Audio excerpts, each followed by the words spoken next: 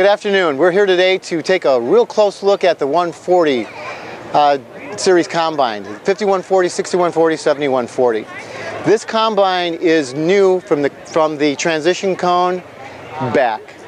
If you think of all of the features we have in our flagship combines, our class 8 and 9 combines, all of the innovative features that our customers have come to love and demand, we've brought all of those down into the class 5, 6, and 7 combines. We're going to start right with the feeder house.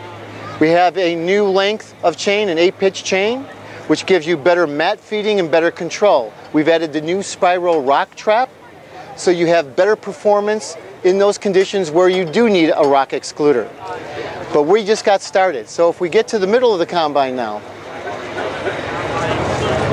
the concaves on this, con uh, this combine have been split. We've gone from a set of three to a set of six.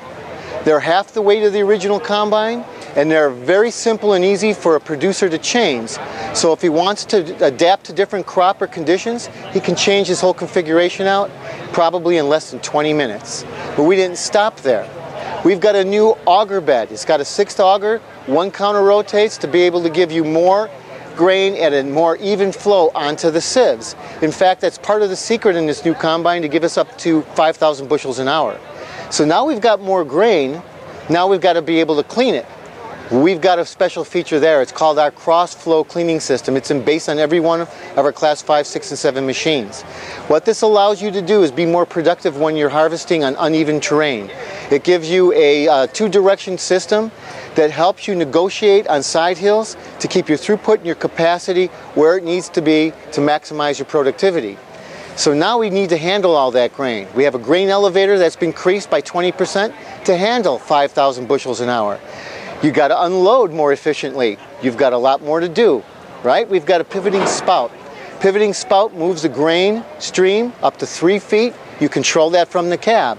And it's easy to see because our combines are pre-wired with three camera sets that you can put right on. So when you uh, actually extend the auger out to unload, the camera comes on so you can see right where that grain is going. So we've got a wonderful uh, system here to harvest and be more productive, but we want to make sure you do a great job next year. So let's go to the back of the combine. So we're looking at the residue package on this 6140. The chopper back is completely new. The chopper has a chevron blade pattern, gives you more balance, more consistency, better reliability, and better chop quality. We have new horizontal spreaders that you can control from the cab hydraulically, 300 to 750 RPM.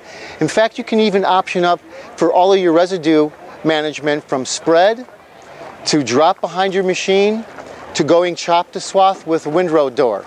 You can do this all from the cab. So think about it. To maximize your ROI, your return on investment for your harvest next year, it all depends on how effective and how efficient you harvest today. And that's what Case IH brings you, the ability to harvest more of what you grow.